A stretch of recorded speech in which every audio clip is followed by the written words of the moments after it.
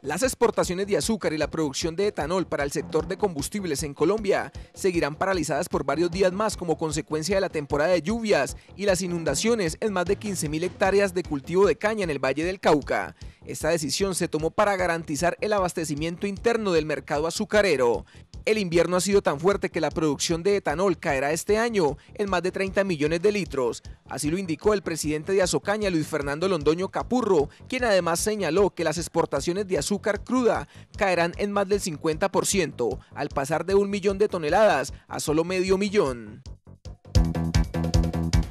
Los loteros del Valle del Cauca se reunirán el próximo domingo 5 de diciembre en el Centro Recreativo Confenalco Valle del Lili para disfrutar de la séptima brigada del Lotero Valle Caucano, un evento que anualmente realiza la beneficencia del Valle con el fin de brindar actividades de esparcimiento y recreación a este gremio. Durante la jornada que iniciará a las 8 de la mañana con la llegada de los loteros desde diferentes puntos del departamento, se ofrecerá servicio de peluquería, refrigerios, almuerzo y actividades culturales. El evento contará con la presentación de cantantes de música popular y diferentes orquestas.